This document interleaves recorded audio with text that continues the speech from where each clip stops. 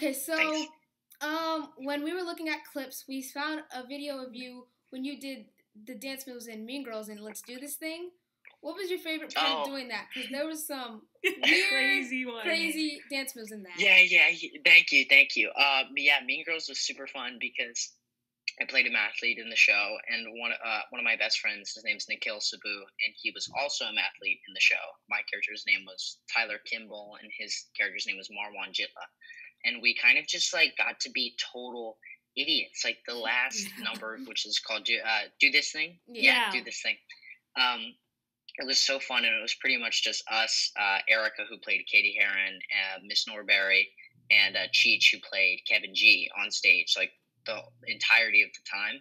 And uh, yeah, it was so stupid. It was so fun. I mean, I did a lot of, lot of like twerking, a lot Yeah. of dabbing, a, lot of, but you know, like not like not a, a version of it to be taken seriously, like Yeah. a version of it to like poke fun at like you know what what it is Mhm. um, but a lot of that, a lot of that, and then we actually got funny enough, we got um, we did it, and you know when you- you're doing something eight times a week, you you don't necessarily you're not consciously aware of how things begin to like evolve and get Yeah. bigger. So when it first started, it was you know like a tamer version, and then we just started getting bigger and bigger and like doing more things uh, to the point where our director uh, came and saw the show and like uh, had to give us a note afterwards and was like, guys, too much. Too much. it's too much.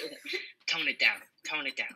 And we had to kind of like rein ourselves back in, um, which was really hard to do actually. Mhm. Um, but yeah, it's that evolved a lot. But I'd say mainly twerk, twerking. Unfortunately, that was my go-to. That's a good-